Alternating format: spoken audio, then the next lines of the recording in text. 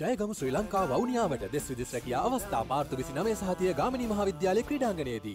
දැන් ඔබතුමාට මොන වගේ කාර්යයක්ද දැන් තවරලා තියෙන බරක් දරෑරුම් කාර්යයක් විශේෂයෙන්ම පක්ෂයක් විදිහට අපි ඉතාමත් ශක්තිමත් දේශපාලන පක්ෂයක් ඒ වගේම තමයි බැසිල් රාජපක්ෂ ඇමතුමා නිර්මාතෘ විදිහට මේ පක්ෂේ ඉතාමත් ශක්තිමත් යාන්ත්‍රණයක් හදලා තියෙනවා. ඒ වගේම මැතිවරණ මෙහෙවන්න එතුමා තවදුරටත් කටයුතු කරනවා. ඉතින් අපේ වක්කීම තමයි ඉදිරියේදී එන ඕනෑම මැතිවරණයකදී ජයග්‍රහණය කරන්න පුළුවන් ආකාරයට අපේ පක්ෂයේ දේශපාලන යාන්ත්‍රණය ශක්තිමත් කිරීම. ඉතින් පහුගිය කාල සීමාව පුරාම අපි ලංකාපුර ඇවිද්දා. අපේ පාක්ෂිකයෝ මුණ ගැහුණා. අපේ ග්‍රාමීය නායකයෝ 14 දා මුණ ගැහෙන්න අපි ගියා. අපි විශ්වාස කරනවා ඉදිරි කාල සීමාව තුලත් අපි විශ්වාස කරන දේශපාලන ප්‍රතිපත්ති ජයග්‍රහණය කරවන්න අපේ පාක්ෂිකයෝ එක්ක අපිට ඉදිරියට යන්න පුළුවන්. ඔබතුමාලා විශේෂයෙන්ම මහමැතිවරණයක් ඉල්ලන්නේ.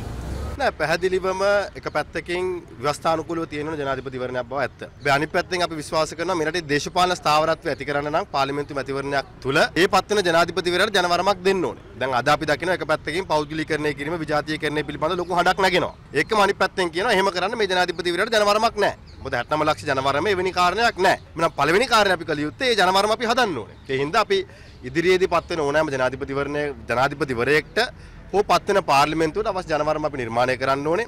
ඒ වගේම තමයි දේශපාලන ස්ථාවරත්වයේ වෙනුවෙන් අපි හැමෝම කියනනේ මේ ඒකාධිපතියව හදන්න හොඳ නැහැ කියලා. දැන් අපි මහින්ද රාජපක්ෂ ජනාධිපතිතුමාට තුනෙන් දෙකේ බලයක් දුන්නා.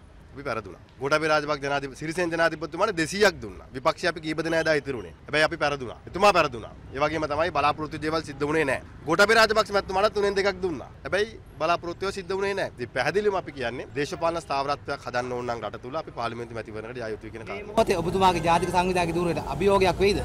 ඉදිරි මහමැතිවරණයක් හෝ ජනාධිපතිවරණයක් ආවොත්. මැතිවරණයක් කියන්නේ ජනතාව එක්ක කරන ගනුදෙනුවක්. ඉතින් ජනතාවට අපි සාමනුකම්පිතව අහුම්කම් දෙන්න ඕනේ. ඒ අපේ ප්‍රතිපත්ති අපි ජනතාවට කියන්න ඕනේ. ඉතින් මම හිතන්නේ දේශපාලන පක්ෂයක් ජනතාව අතරට යන එක අභියෝගයක් විදිහට බාරගත යුතු නැහැ. ඒක අපේ වගකීමක්. ඉතින් පැහැදිලිවම ශ්‍රී ලංකා පොත් ජන පෙරමුණ ඒ වගකීම් හඳුනාගත්තු දේශපාලන පක්ෂයක්. අපි නිරන්තරයෙන් මේ රටේ ජනතාව එක්ක දේශපාලනය කරනවා. ජනතාවට අපි අහුම්කම් දෙනවා.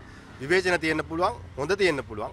ඒකේ ගත යුතු දේ අපි අරගෙන අපි අපේ ප්‍රතිපත්ති නවීකරණය කරමින් ඉස්සරහට යනවා. හරි පොහොට්ටුවේ අපේක්ෂක කවද ජනතාවට කියන්නේ? ජනාධිපතිවරණයද පාර්ලිමේන්තු මැතිවරණයද කියලා ඔබතුමා ඉස්සෙල්ලා ප්‍රශ්නයක් අහුවානේ. ඉතින් පාර්ලිමේන්තු මැතිවරණයක් ආවොත් අපේක්ෂකයා පිළිබඳ ගැටලුවක් වෙන්නේ නැහනේ. ඒ හින්දා ජනාධිපතිවරණයේ දින නියම කළා ජනාධිපතිවරණයේ ගැසට් එක ගැහුවම අපිට පක්ෂයක් විතර සාකච්ඡා කරන්න පුළුවන්. ඊට පෙර තීන්දුව කරනවාද කියන එක අපේ පක්ෂයේ විධායක සභාව මුණ ගැහිලා දේශපාලන මණ්ඩලය මුණ ගැහිලා තීන්දුවක් ගන්න පුළුවන්. ඔබතුමාට දුන්නත් බාර ගන්නවා. පක්ෂයේ විධායක සභාව සහ දේශපාලන මණ්ඩලයේ තීන්දුව ගත යුතුයි.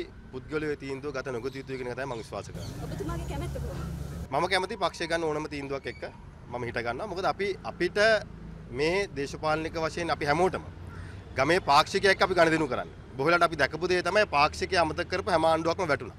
අපි පිළිගන්න ඕනේ අපිට උනේත් අපේ පාක්ෂිකය අපිට යම් තාක් දුරට අපෙන් දුරස් වුණා. කොවිඩ් 19 වසංගතය වෙන්න පුළුවන්, පෝර තීන්දුව වෙන්න පුළුවන්, වෙනත් ආර්ථික ප්‍රශ්න වෙන්න පුළුවන්.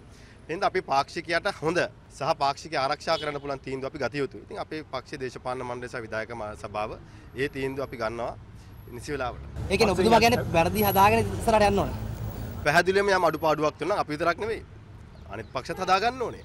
88 89 වෙච්ච දේවල් පිළිබඳව එය දැන් අනුකම්පාවෙන් කටයුතු කරලා හරියන්නේ නැහැ හදාගන්න. හැබැයි ලොකු අභියෝගයක් වෙයි මේ සැරේනේ ජනාධිපති මැතිවරණයක් කියන අභියෝගයක්. ඒක ඒක හැමෝම පිළිගත යුතු කාරණයක්. ජනාධිපතිවරණය නෙවෙයි ප්‍රාදේශ සභා මැතිවරණයක් නෙවෙයි සමුපකාර මැතිවරණත් අභියෝගයක්. මොකද ඒක ජනතාව එක්ක කරන ගනුදෙනුවක්. ඉතින් ජනතාවගේ හිත දිනා ගන්න අපි දැනගන්න ඕනේ. ජනතාව බලන් ඉන්න පොහොට්ටුවෙන් කවුද මේ සැරේ අපේක්ෂක වෙන්නේ කියලා. රාජපක්ෂ කෙනෙක්ම වෙයිද?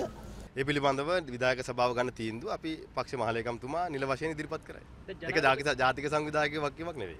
ජනාධිපතිවරයා ඔබතුමාලාගේ ඉල්ලීමට කන්දේද ඔබතුමාලා ගිහින් ඉල්ලීමක් කරන්නේ පාර්ලිමේන්තු මැතිවරණයක් දෙන්න කියලා. නෑ අපි ඉල්ලීමක් නෙවෙයි. අපි අදහසක් බසිල් රාජපක්ෂ මහත්මයා එතුමාගේ පෞද්ගලික අදහස ඉදිරිපත් කළා. තිබ්බ හැබැයි පක්ෂයක් විතර අපි තීන්දුවක් ගන්නවා නම් ඒ දේශපාලන මණ්ඩලෙන් අපි ඒ තීන්දුව ගන්න ඕනේ. අපි රටට හොඳ සහ මේ රටේ හැම දේශපාලන පක්ෂයකටම හොඳ ගැළපෙන මේ රටේ දේශපාලන ස්ථාවරත්වය ඇති කරන්න පුළුවන් තීන්දුවක් අපේ දේශපාලන මණ්ඩලය ගන්නේ කියලා මම විශ්වාස කරනවා. කාට විරුද්ධව විනය පරීක්ෂණ කරයිද ඉදිරියේදී?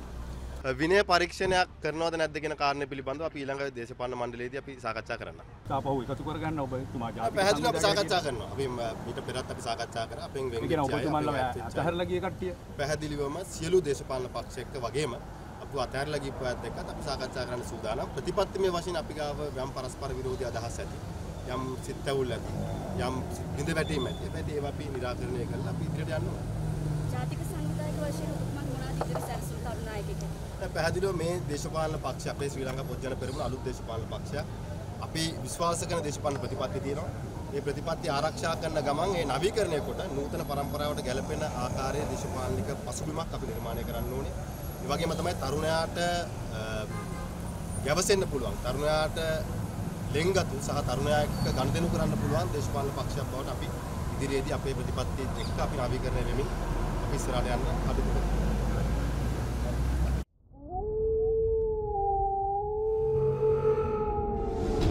The News Reporter වාරණයෙන් තොර අපක්ෂපාති වාර්තාකරණය